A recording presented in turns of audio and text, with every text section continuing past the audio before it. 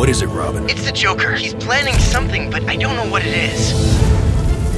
We gotta be careful. There could be a surprise around any corner.